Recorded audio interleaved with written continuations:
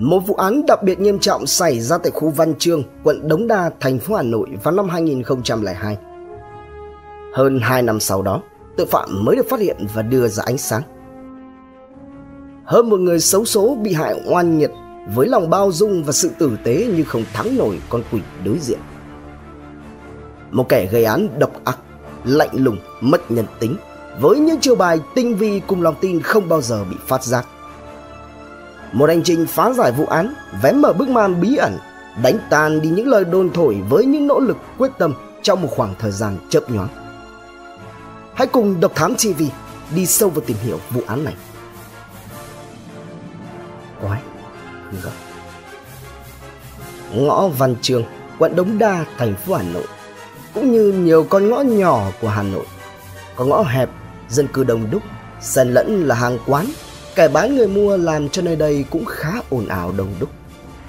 Không chỉ có vậy, con ngõ này thuộc khu ngõ Văn là một hệ thống ngõ ngách kỳ lạ và phức tạp bậc nhất thủ đô. Đến nỗi với bất cứ ai lần đầu đi vào đều có thể lạc lối hay là đi lòng vòng một lúc rồi lại quay về đúng điểm xuất phát ban đầu. Ngõ từ vùng sáng và vùng tối, từ chỗ rộng và chỗ hẹp, những con đường chia thành nhiều ngả ngoan ngoèo, dẫn người đi vào như đi vào mê cung rất dễ mất đi phương hướng. Đó là cụm các con ngõ Văn Chương, Văn Hương và Huy Văn đều nằm trên trục đường chính của phường Văn Chương. Ngõ Văn Chương nối liền với ba phố là Khâm Thiên, Tôn Đức Thắng và Trần Quý Cáp. Từ xa xưa, cụm ngõ này đã một thời thịnh hành làm nghề mở quán trọ kiếm nấu ăn dọn rửa cho các sĩ tử với kinh thuê ở, chờ ngày và trường thi.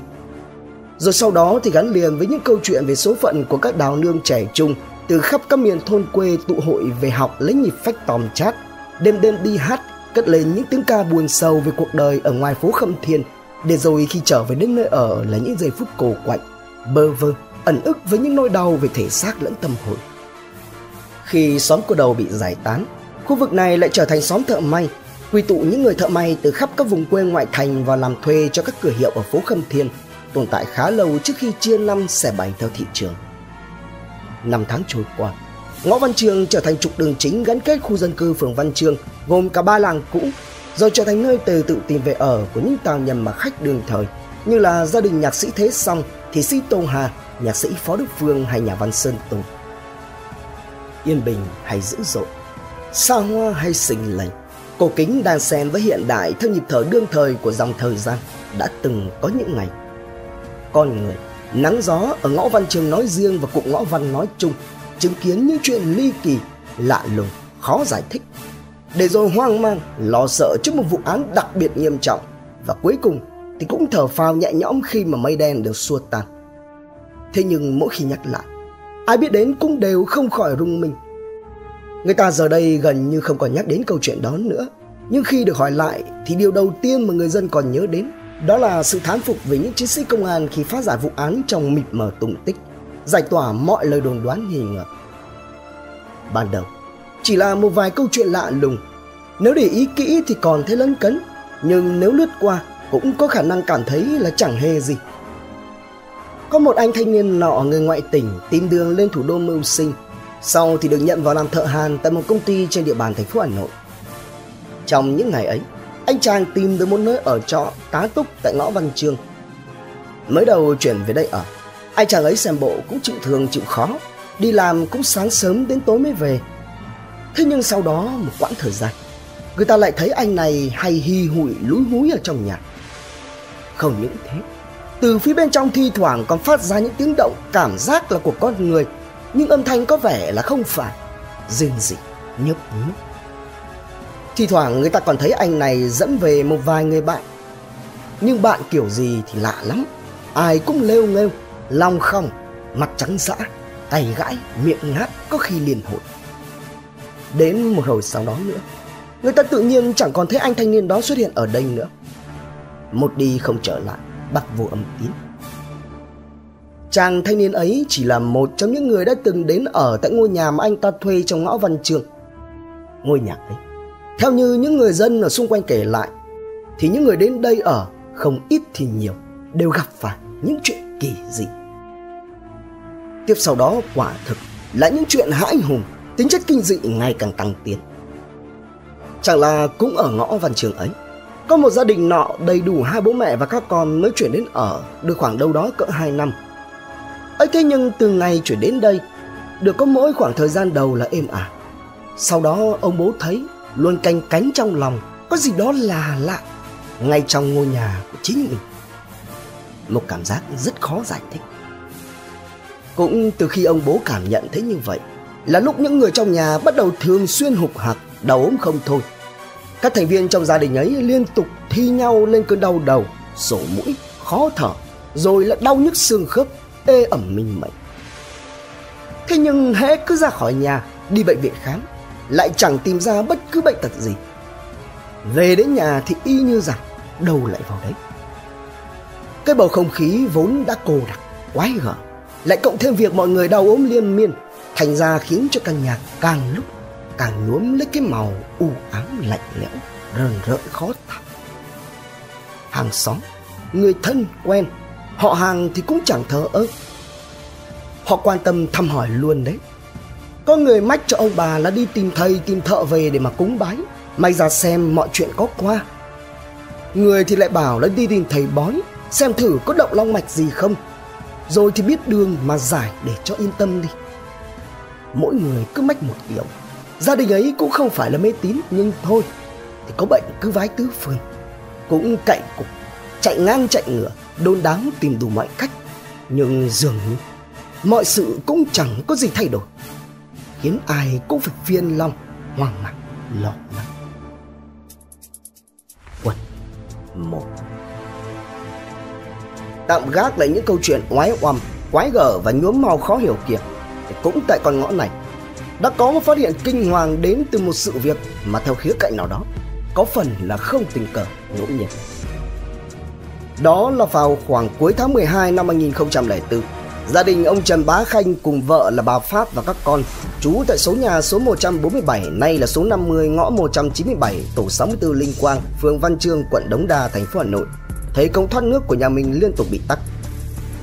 Dù từ trước đến nay từ khi chuyển đến đây ở, Gia đình ông chưa gặp phải tình trạng này bao giờ. Thế nhưng ông cũng không lấy làm ngạc nhiên bởi vì suy cho cùng thì hệ thống đường ống này cũng đã được sử dụng từ nhiều năm trước liên mạch theo căn nhà nên giờ đây có lẽ đã xuống cấp thì cũng là một lẽ đương nhiên. Thế rồi ông Khanh quyết chí là phải sửa chữa trùng tu lại cho bằng được. Căn nhà này của ông Khanh vốn là nằm trên hai mặt ngõ. Ngõ bên tay trái là ngõ phụ, rộng khoảng chừng hơn 1 mét.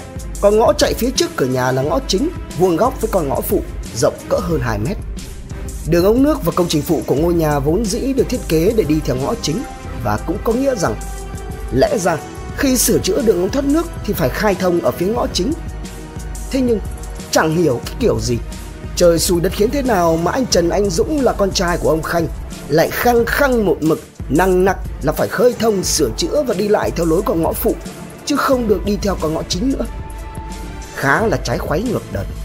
Ai biết chuyện cũng cảm thấy một dấu chấm hỏi to đùng Vợ chồng ông Khanh ban đầu thì cũng tính là gặp phăng đi, Thế nhưng anh con trai lại quá quả quyết, Thành ra là chẳng nhẽ Vì mỗi cái chuyện này mà lại mâu thuẫn gia đình ư Thôi thì chiều theo ý con Thể theo nguyện vọng của anh con trai Vợ chồng ông Khanh sau khi thống nhất được quan điểm về xử lý đường ống thoát nước Thì đã thuê người về làm Tưởng chừng Mọi việc sẽ đâu vào đấy theo kế hoạch Nhưng không Chờ đợi gia chủ và những người thợ là một phát hiện Còn hơn cả từ khủng khiếp có thể diễn đạt đó là vào khoảng 16 giờ 40 phút ngày 18 tháng 12 năm 2004.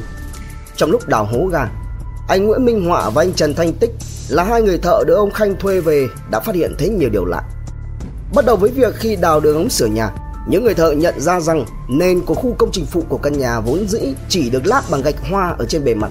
Nhưng ở phía bên dưới lớp gạch hoa đó lại được láng mịn một lớp xi măng hết sức cẩn thận. Đây là một điều vô cùng hiếm gặp, khác hẳn so với quy trình để lát gạch hoa bột bột sau những nhát thuồng xuyên phá đi lớp mặt xi măng láng mịn đó thì người ta thấy một lớp ni lông nguyên tấm lớn được trải phẳng phim ngay ở bên dưới có thể thấy được xuyên thấu qua lớp ni lông lại tiếp tục là một khoảng mặt đất được đổ xi măng và láng mịn rộng chừng cỡ một cái chiếu con ngay bên dưới kỳ lạ nhưng những người thợ này vẫn tiếp tục làm sau những nỗ lực dùng xà beng để phá khối sâu xuống dưới mặt sàn nhà khoảng chừng 30 cm những người có mặt mới táo hỏa hãi hùng khi mà họ nhận thấy lẫn trong đó thập thò trồi lên là những màu cốt trắng tinh. Ban đầu là ngón tay, rồi đến nhiều đoạn ống chân. Tưởng đâu mình làm mệt nên hòa mắt. Hai thợ mới cố gắng mở rộng khu vực đào thêm chừng vài chục cm nữa thì tất cả đều bật ngửa, miệng á khẩu không thốt nên lời. Trước mắt họ là nguyên một bộ cốt hình hài con người lồ lộ hiện ra. Ngay lập tức, mọi thông tin tức tốc được trình báo tới cơ quan công an quận Đống Đa. Biết, nói. Sau khi nhận được tin báo, các trinh sát của đội cảnh sát điều tra tội phạm về trật tự xã hội công an quận Đống Đa, thành phố Hà Nội đã lập tức có mặt ngay tại hiện trường. Cùng với các lực lượng chức năng của công an thành phố, phòng cảnh sát điều tra tội phạm về trật tự xã hội, đội điều tra trọng án đội 9 phòng cảnh sát hình sự, phòng kỹ thuật nghiệp vụ và viện khoa học hình sự Bộ Công an, các công tác nghiệp vụ được triển khai tiến hành hết sức khẩn trương. Cũng cùng lúc này, thông tin về bộ cốt người đào được trong nhà ông Khanh đã chẳng mấy chốc giống như là một luồng điện xẹt lan rộng ra khắp khu vực dân cư xung quanh. Cùng với đó là những lời đồn thổi, theo dệt với ngôi nhà bị ma ám được dịp bùng thổi, tạo ra một màu sắc mê tín xung quanh sự việc, khiến cho bầu không khí trở nên ngột ngạt, ai cũng phải hoang mang lo sợ. Mọi lời bàn tán đồn thổi xôn xao, sôi nổi dập dìu suốt cả con ngõ. Người thì bảo do có xương cốt trong nhà gây ra ám khí thế nên gia đình ông Khanh mới có người bị ốm đau bệnh tật. Người thì lại bảo là nhà ông Khanh bị ma ám quỷ bông. Cũng có người phán đoán về một vụ án kinh hoàng. Qua công tác tiếp cận, khám nghiệm và rà soát, hiện trường phát hiện là một khoảng rỗng trong công trình phụ, cách mặt đất khoảng chừng 30 cm. Kích thước của khoảng rộng có chiều dài nhân rộng là 0,4 m nhân 1,23 m, sâu khoảng 32 cm. Bộ cốt được tìm thấy nguyên vẹn, đầy đủ tất cả các thành phần, khớp lại đều một cơ thể người hoàn chỉnh. Được tìm thấy trong tư thế nằm ngửa, tay chân duỗi. Bên ngoài của bộ cốt có mặc một áo sơ mi cộc tay, quần âu màu đen. Toàn bộ quần áo dính bùn và đất bẩn. Trong túi nằm ở phía sau quần bên phải của bộ cốt phát hiện ra một chiếc ví. Trong ví thu được một giấy phép lái xe hạng A1 mang tên Vũ Xuân Trường, sinh năm 1946, trú tại số 28 khu tập thể B19, phố Lương Định Của, phường Kim Liên, quận Đống Đa, thành phố Hà Nội và 170.000 đồng tiền mặt. Cũng trong quá trình khám nghiệm, lực lượng kỹ thuật hình sự đã phát hiện ra phía sau não bộ của hai cốt có một vết nứt, nghi do ngoại lực tác động hay là nói cách khác, khả năng cao là đã có kẻ xuống tay khiến cho người này ra đi vĩnh viễn và phi tang xuống đây. Một hiểm nghi về vụ án đặc biệt nghiêm trọng phi tang người xấu số nhằm trốn tránh pháp luật được dựng lên Với những phát hiện này, nhận định ban đầu cho thấy có thể chiếc ví cùng giấy tờ tùy thân của bộ cốt chính là những điều mà người đặt bộ cốt xuống đây đã không thể ngờ tới. Hoặc cũng có thể do tâm lý khi gây án đã quá sợ hãi mà không để ý đến điều này. Hay cũng có thể là cái đó nghĩ rằng việc làm của hắn hẳn nhiên là trời không biết, đất không hay, sẽ mãi mãi chôn vùi, thế nên hắn ta thậm chí chẳng cần bận tâm đến những tiểu tiết như vậy. Mặc dù là có giấy tờ tùy thân, thế nhưng không loại trừ khả năng cao do kẻ gây án cố ý hoặc đây là của một người khác. Do đó, cần có những cơ sở khoa học vững chắc hơn để có thể xác định được danh tính của bộ cốt này. Qua công tác rà soát, kiểm tra lại hồ sơ, thông tin liên quan đến những người mất tích được phối hợp giữa công an quận Đống Đa, lực lượng điều tra trọng án phòng cảnh sát điều tra về tội phạm trật tự xã hội công an thành phố Hà Nội kết hợp với những thông tin hết sức có giá trị từ phòng kỹ thuật hình sự. Lực lượng điều tra đã thu thập được một thông tin. Đó là vào ngày báo tin 20 tháng 7 năm 2002, người nhà của người đàn ông mang tên Vũ Xuân Trường trên giấy phép lái xe hạng A1 tìm thấy trong chiếc ví cùng với bộ cốt đã trình báo tới chính quyền về sự mất tích bí ẩn của ông này. Theo thông tin chỉ báo mất tích, Ông Trường sống độc thân, vợ con ở nước ngoài, thỉnh thoảng có đứa cháu về ở cùng. Được nhìn thấy lần cuối ra khỏi nhà vào lúc khoảng 23 giờ đêm ngày 16 tháng 7 năm 2002. Khi đi, ông mặc áo sơ mi, quần âu, di chuyển bằng xe gắn máy hiệu Honda Dream của Thái, màu nho, mang biển kiểm soát 31M7912. Hiện hình Để xác định được chính xác lai lịch của bộ cốt, Cơ quan cảnh sát điều tra đã trưng cầu giám định ADN từ Trung tâm giám định sinh học pháp lý, Viện Khoa học Hình sự Bộ Công an. Theo bản giám định pháp y số 3691 sượt C21 P6 ngày 28 tháng 12 năm 2004 của Viện Khoa học Hình sự Bộ Công an xác định bộ cốt được tìm thấy chính xác là ông Vũ Xuân Trường với mẫu cốt trích ra từ bộ cốt trùng khớp với kiểu gen và mẫu tóc của bà Vũ Thị Thu là chị ruột của ông Vũ Xuân Trường. Đồng thời trên xương sọ của ông Trường phát hiện có dấu vết tổn thương nhiều khả năng là ông Trường ra đi do chấn thương bởi dấu vết tác động ngoại lực gây vỡ nứt hộp sọ phía sau bên trái. Thời gian liệt ra nhân thế đã khoảng ít nhất 24 tháng. Ít nhất đã 24 tháng, như vậy là có thể còn hơn. Cũng có nghĩa tội phạm này đã qua được một quãng thời gian không quá dài để điều tra về một vụ án đặc biệt nghiêm trọng phi tang. Nhưng đối diện với cơ quan điều tra lúc này lại là những câu hỏi. Tại sao ông Trường lại có mặt ở đây? Có mặt vào lúc nào? Chuyện gì đã xảy ra? Trong khi công tác vận động quần chúng nhân dân tố giác tội phạm, thu thập thông tin, tìm kiếm nhân chứng chưa có dấu hiệu nào khả quan. Cộng thêm trong quần chúng nhân dân tin đồn lan ra ngày càng khó kiểm soát, vô hình chung đã tạo nên những áp lực, thách thức đè nặng lên cơ quan điều tra. Qua thông tin do gia đình ông Khanh và anh Dũng con trai ông Khanh cung cấp, mặc dù là chủ sở hữu của căn nhà này, nhưng gia đình ông mới chuyển về đây ở được khoảng 2 năm, còn trước đó từ năm 1998 chỉ sử dụng để cho thuê. Sàng lọc trong nhóm những người khách từng thuê trọ tại đây cùng với trí nhớ của anh Dũng, cơ quan điều tra phát hiện ra khoảng thời gian 2 năm trước ở đây từng cho một người nam thanh niên thuê nhà. Tuy nhiên, anh Dũng phát hiện ra người này đã sử dụng hàng trắng và đá, thậm chí là còn tổ chức hít ngay tại nhà trọ, thế nên gia đình ông Khanh đã kiên quyết không cho thuê nữa. Còn người này thì giờ đây ở đâu, không một ai biết. Đến đây, hàng loạt câu hỏi lại được đặt ra đối với cơ quan điều tra. Người nam thanh niên này có mối quan hệ gì với ông Vũ Xuân Trường? Liệu có phải đây là kẻ đã xuống tay rồi phi tang nạn nhân? Trong trường hợp nếu như người này không phải là kẻ gây án thì ai sẽ là người có khả năng vào nhà đủ thời gian để làm tất cả tội ác đó.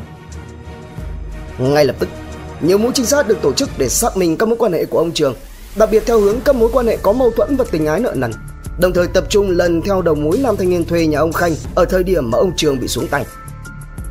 Với việc xác định được chính xác về khoảng thời gian mà ông Trường ra đi đã giúp cho cơ quan điều tra thu hẹp được phạm vi điều tra, sàng lọc hàng loạt các đối tượng gãi cổ, miệng ngáp, răng nghiến mắt thất thần trong khoảng thời gian 2 năm trước góp phần dựng lên được hình ảnh của đối tượng nghi vấn. Đồng thời với sự cộng tác nhiệt tình của người thân, gia đình nạn nhân, danh tính người nam thanh niên thuê nhà ông Khanh vào thời điểm ông Trường mất tích được xác định là một nam giới có tên là Trần Thanh Tùng, sinh năm 1975, đăng ký thường trú tại tổ 4, khu 1, phường Vàng Danh, thành phố Uông Bí, tỉnh Quảng Ninh, hiện tại đang hành nghề thợ kính. Đến đây thì liệu rằng Tùng có phải là đối tượng nghi vấn của cơ quan điều tra hay không? Theo thông tin ban đầu, Gia đình Tùng cho biết rằng Tùng trước đây là một người con ngoan, thời gian đầu lăn lộn mưu sinh thì cũng kiếm chát được khá nhiều tiền, thậm chí là còn gửi về phụ giúp gia đình. Thế nhưng từ khi mắc vào hàng trắng thì Tùng đã biến đổi hẳn, mất dần nhân tính. Qua điều tra, các trinh sát thu thập được những thông tin hết sức có giá trị, đặc biệt là ba điều liên hệ trực tiếp đến Trần Thành Tùng. Thứ nhất, Tùng và ông Trường từng có thời gian làm việc chung tại công ty trách nhiệm hữu hạn Hoàng Anh tại Hà Nội, trong đó Tùng làm thợ hàn. Thứ hai, Người thân cho biết ông Trường có nhận một người con nuôi trong quá trình đi làm, kể cả sau này khi nghỉ việc rồi vẫn qua lại với người con nuôi đó. Và người con nuôi đó có nhiều nét tương đồng với chân dung của Tùng. Thứ ba, thông qua bà Y, là một người bạn gái cũ của ông Trường, cung cấp thông tin rằng đã hai năm nay không được gặp ông và cũng không biết rằng ông Trường lặn đi đâu mất tâm mà giỏi đến như vậy. khơi gợi lại những mối quan hệ của ông Trường, bà Y cho biết rằng đã có lần bà ta gặp một người nam thanh niên trẻ đi cùng với ông Trường mà ông Trường gọi là cháu nuôi. Theo miêu tả của bà Y, thì người nam thanh niên trẻ cháu nuôi của ông Trường này có nhiều nét rất giống với Tùng. Ngoài ra, theo một số nhân chứng tại khu vực khi gợi lại trí nhớ, đều xác nhận rằng vào khoảng thời gian trước khi xảy ra vụ án, họ vẫn thấy Tùng lầm vẩn ở đây. Rất nhanh, chỉ một ngày sau khi phát hiện ra bộ cốt của ông Trường nằm dưới công trình phụ nhà ông Khanh, bà Phát, thì ngay buổi chiều ngày 19 tháng 2 năm 2004, biết được Tùng đã về Quảng Ninh mở cửa hàng khung nhôm kính một tổ công tác của đội cảnh sát điều tra tội phạm về trật tự xã hội đã lên đường xuống tỉnh Quảng Ninh. Thế nhưng vì lúc này Tùng đang đi làm cho công trình tại mỏ vàng danh, cách nhà Tùng tới 18 km. Thế nên cuộc truy đuổi đến khoảng 18 giờ cùng ngày mới có kết quả. Và vào đúng 21 giờ, Trần Thanh Tùng đã được đưa về công an quận Đống Đa. Trên bàn làm việc, đối diện với các điều tra viên, việc đấu tranh khai thác với Tùng liên tục phải mất rất nhiều giờ đồng hồ vì Tùng quanh co chối tội. Đến tận 5 giờ sáng ngày 20 tháng 12, không còn đường chối cãi. Trần Thanh Tùng đã phải cúi đầu nhận tội, thừa nhận toàn bộ hành vi vi phạm pháp luật của mình và xin giấy bút để viết lời thú tội. Chà, giá. Theo lời khai của Tùng và kết luận điều tra, vào năm 1997, Tùng từ Quảng Ninh lên Hà Nội để làm thợ hàn tại công ty trách nhiệm hữu hạn Hoàng Anh. Trong những ngày ở thủ đô, Tùng thuê được nhà của anh Trần Anh Dũng ở số 50 ngách 49 tổ 64A phường Văn Chương. Và cũng tại Hà Nội, Tùng nhanh chóng kết thân được với ông Vũ Xuân Trường là người làm cùng công ty với Tùng và trở nên thân thiết. Hai bên gọi bố con, được ông Trường nhận làm con nuôi. Một năm sau đó, cả hai đã rời công ty nhưng vẫn giữ mối quan hệ rất thân tình. Tới khoảng 23 giờ 30 phút ngày 17 tháng 7 năm 2002, ông Trường đến chỗ Tùng chơi thì phát hiện ra con nuôi của mình đang chuẩn bị sử dụng chắn, trên tay hãy còn cầm chiếc bật lửa châm chuẩn bị tán nhỏ để hít. Vốn là một người tử tế, lại không người hay biết Tùng đã bập vào con đường địa ngục này từ lâu. Cho rằng Tùng không may lỡ chân sao đọa nên xuất phát với tình thương, ông Trường lao đến rằng lấy thứ chết chắc ở trên tay Tùng, cất đi, không cho Tùng sử dụng nữa và lựa lời khuyên giải. Nhưng ông Trường khi ấy đã thực sự xem nhẹ cái việc khi một kẻ gãi cổ đang đói thuốc thì kẻ đó sẵn sàng có thể làm tất cả kể cả những việc tay đình khủng khiếp nhất chỉ để giành lấy một chút thứ hàng kia cho thỏa mãn cơn nghiện. Trong trường hợp này cũng vậy.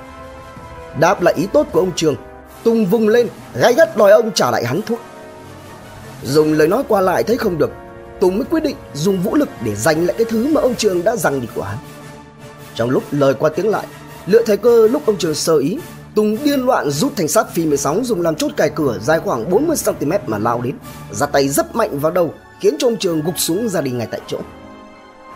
Sau khi xuống tay, hắn ta nhanh tay sờ soạn khắp người ông Trường và lấy đi luôn đồng hồ đeo tay mạ vàng trị giá 500.000 đồng, một điện thoại di động Nokia 8210, một chùm chìa khóa, một triệu đồng tiền mặt trong ví và ra ngoài dắt xe máy của ông Trường vào trong nhà cất giấu.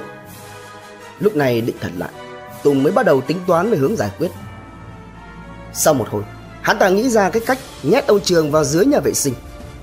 Không một chút hoảng sợ và ân hận, Tùng còn ngồi suy nghĩ chi tiết về các đường bước hết sức lạnh lùng và chính xác.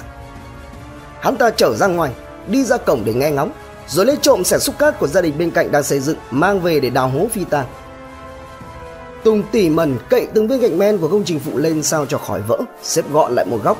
Tiếp tục dùng xẻng đào lấy một hố sâu dài vừa tầm đặt ông Trường xuống. Vào ngày hôm sau, Tùng ra ngoài, khóa trái cửa, thuê một người xe ôm đi mua 15 kg xi măng mang về rồi trốn trong nhà để trộn, sau đó đổ xuống nơi mà ông Trường nằm. Cuối cùng, Tùng láng một lớp bề mặt hố, lấp lên một lớp ni lông, rồi lại láng tiếp một lớp nữa lên trên, sau cùng là xếp lại nguyên vẹn những viên gạch đã bị hắn cậy lên vào đêm hôm trước.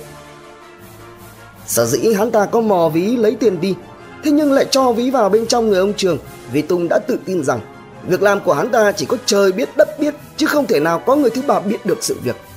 Và hắn yên tâm cho rằng mình sẽ không bao giờ bị trả giá cho tội ác đó. Những ngày sau khi phạm tội, Tùng vẫn ly lợm ở lại.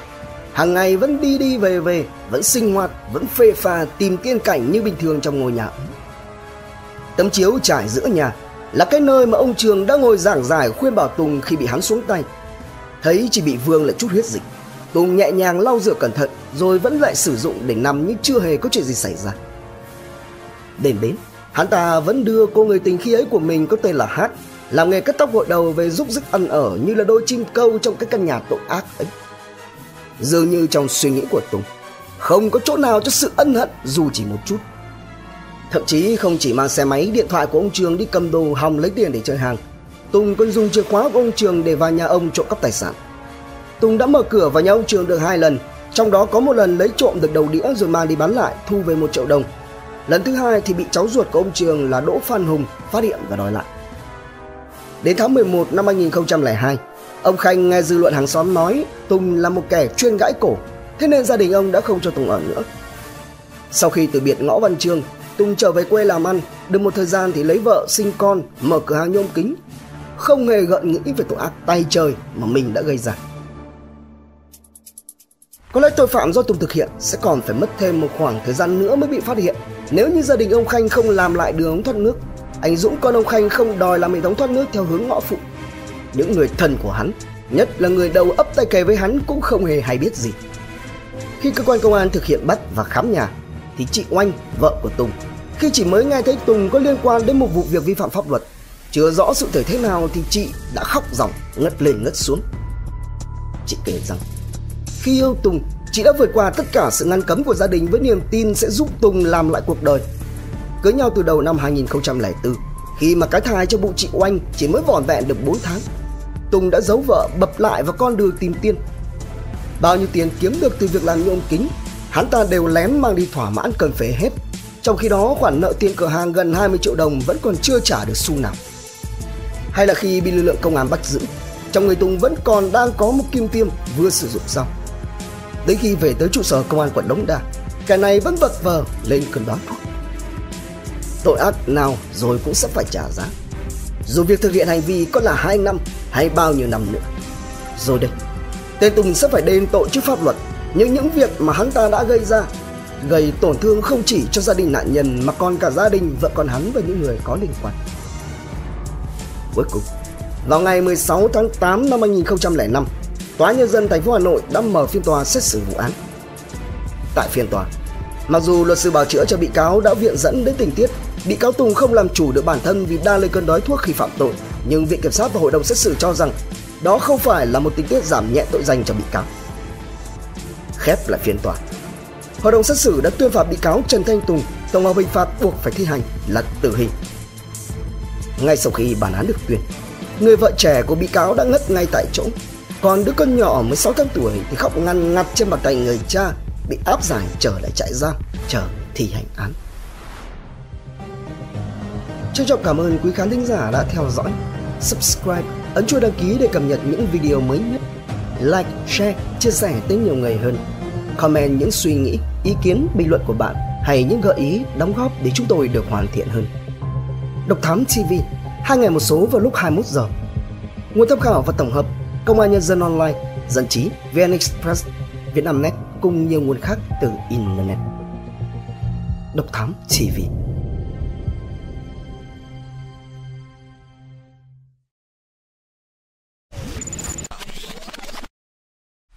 Theo dõi những nội dung vô cùng hữu ích và thú vị trên YouTube qua hệ thống kênh của Passion Studio. Ghé thăm kênh Độc Đáo TV để theo dõi những thông tin kinh tế, tài chính, kinh doanh, khởi nghiệp. Đến với Độc Lạ TV để khám phá những câu chuyện độc đáo và kỳ lạ. Khám phá những vụ án kinh điển và bí ẩn, cập nhật tin tức an ninh nóng hổi cùng Độc Thám TV hay tìm hiểu về lịch sử Việt Nam qua Bí ẩn sự Việt cùng nhiều kênh YouTube bổ ích khác đang được xây dựng và hoàn thiện mỗi ngày. Fashion Studio mang đến những giá trị thiết thực